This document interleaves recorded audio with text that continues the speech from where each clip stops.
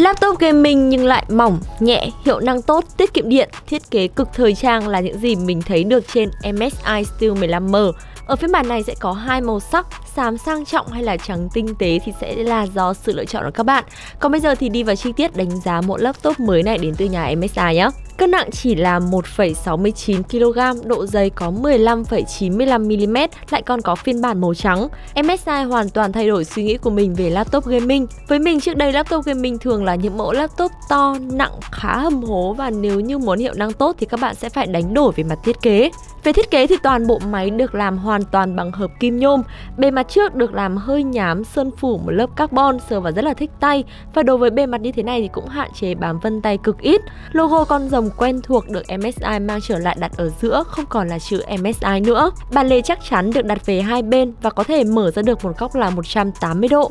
Với bản lề này thì các bạn sẽ phải dùng hai tay để có thể mở được. Với mức giá hơn 33 triệu thì chất lượng hoàn thiện của MSI Steel 15M tốt, tổng thể máy không có chút ép hay là flex nào cả. Được trang bị Intel thế hệ thứ 11 Core i7 1185G7 4x8 luồng, RAM 16GB, 512GB SSD và đi kèm là các đồ họa Nvidia GTX 1660 Ti Max Q. Với các đồ họa này thì sẽ tối ưu được nhiệt độ cũng như là về khả năng tiêu thụ điện năng. Và bây giờ thì hãy cùng xem qua phần trải nghiệm hiệu năng khi ăn phát test vài tựa game nhé.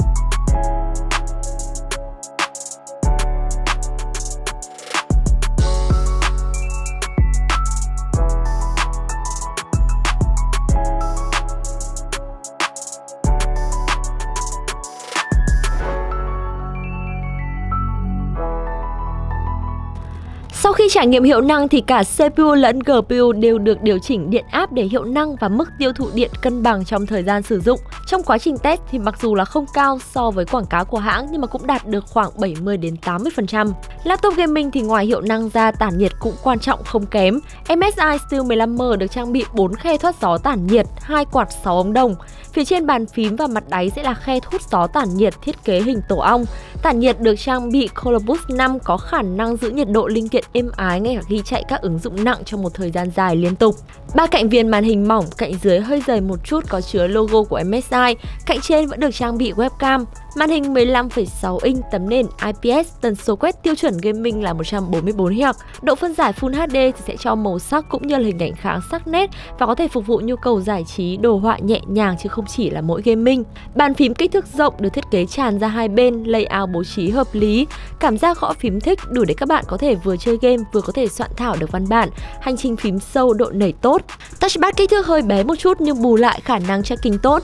Mặc dù mình biết là laptop gaming thì các bạn cũng sẽ sử dụng trượt ngoài để sử dụng nhưng với một mẫu laptop mỏng nhẹ thì touchpad này phục vụ mục đích văn phòng giải trí sẽ cực kỳ tốt thêm vào đó thì xung quanh touchpad còn được thiết kế viền cắt kim cương MSI đã rất là tỉ mỉ trong thiết kế đối với mẫu laptop này. Kết nối Wi-Fi 6 hiện tại gần như đã là quá phổ biến trong những dòng laptop thế hệ mới. Bluetooth 5.1 đem lại khả năng truyền tải ổn định, kết nối Wi-Fi cũng nhanh hơn rất là nhiều. Cổng kết nối có hai cổng USB Type-A một cổng nguồn, một khe thẻ micro SD một jack audio combo, một cổng HDMI một cổng USB Type-C hỗ trợ Thunderbolt 4.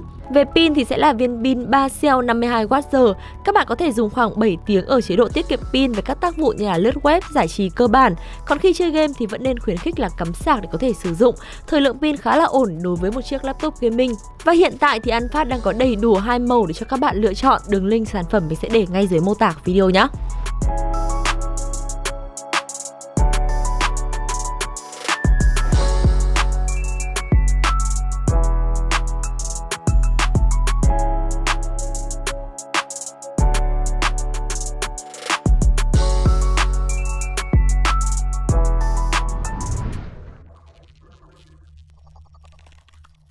Xin cảm ơn tất cả các bạn đã theo dõi hết video này và nếu như có thắc mắc về bất kỳ sản phẩm hay chương trình khuyến mại nào thì đường link tư vấn miễn phí cũng như là mua hàng mình sẽ để ngay dưới phần mô tả của video.